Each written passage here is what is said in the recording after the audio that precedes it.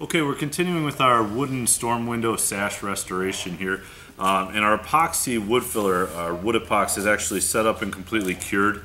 In this case, we've allowed it to sit for several days. We're coming back to the job now to uh, work on sanding and then refinishing the window.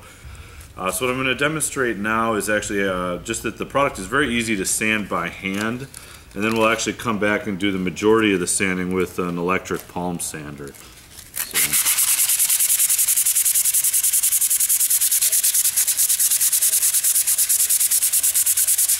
You can see that the product is really actually very easy to do by hand. We have some high spots though, so we're gonna we're gonna hit that with the electric palm sander just to kind of speed up the work a little bit.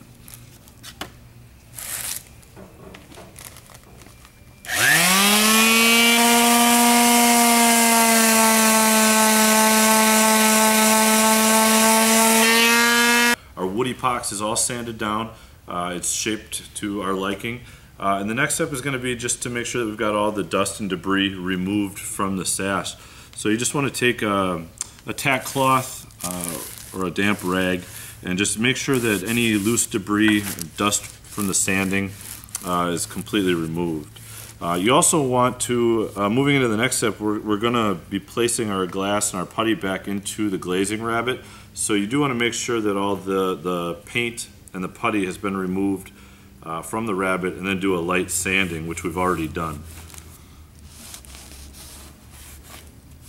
Uh, and there are a lot of different approaches to uh, reglazing and painting old window sashes.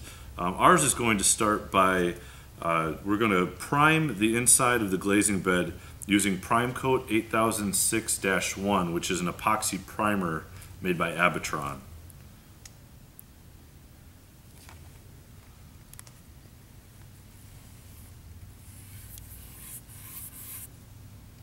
We're to the point where we're reinstalling the glass and we're going to install putty uh, to hold the glass in place.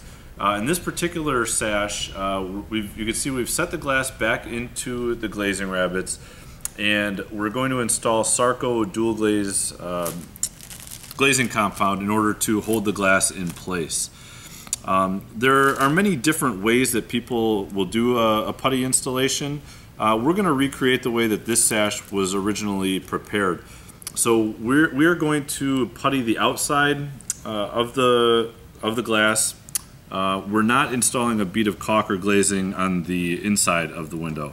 Uh, so the first step, you can see that we've already set the glass back into the pane, but we're going to install glazing points to hold the window in place while the putty dries.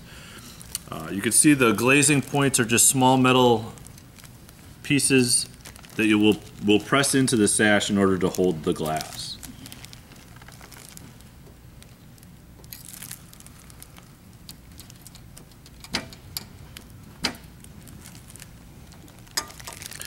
You'll want these about every 8 to 10 inches.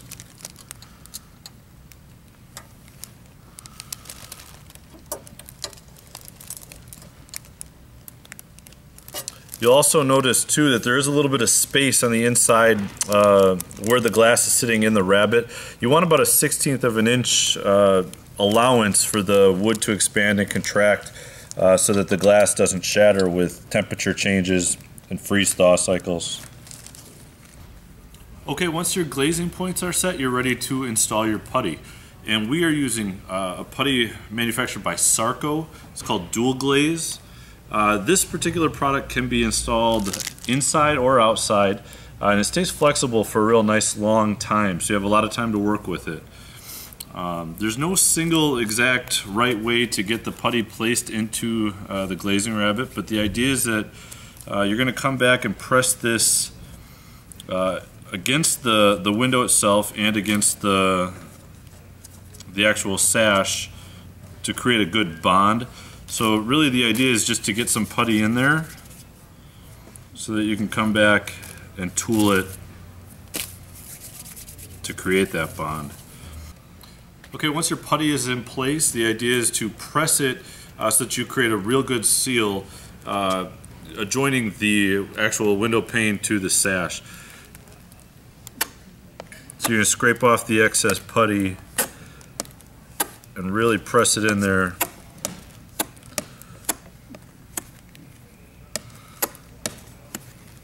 So that you can come back and clean it up. So you're going to take uh, just your standard putty knife um, and start at one corner.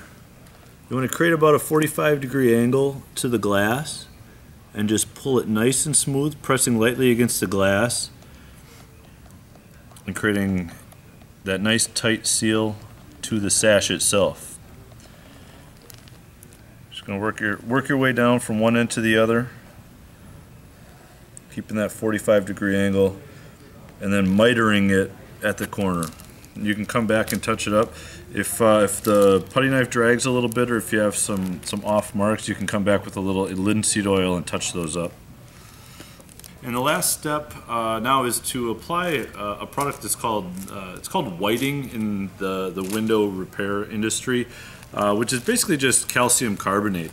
And what this is going to do, it's going to soak up the oil that's left behind by the glazing putty uh, to kind of clean up the glass a little bit. It'll also uh, assist a little bit in helping the putty skin over. So we're just going to sprinkle some of that around, and we're going to dust all that oil off of the glass.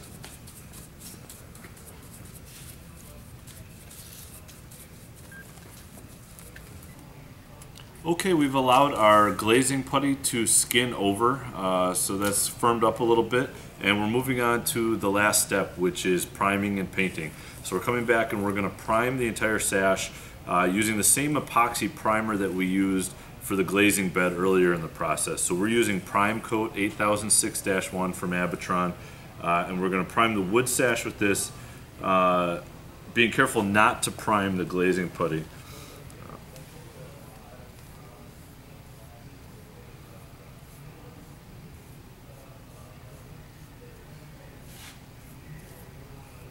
Just to do a real quick recap of what we've done so far is we've taken this exterior storm sash that was literally falling apart into pieces in places uh, and we've completely uh, restored the window so that it's operable again. Uh, so we've stripped it of all of its paint and the original putty. Uh, we took all the paint off using clear strip product from Abatron. Uh, then we uh, removed the glass, stripped all of the, the glazing putty out. we reprimed the sash. We uh, replaced the, the glass and used Sarco putty to reinstall it. We moved on to priming the sash with Prime Coat 8006-1 from Abatron. And now we're moving on to our final step of painting. We're using an exterior grade uh, high quality acrylic. It's a latex paint. We're going to do two coats of that and then our window will be ready to be installed.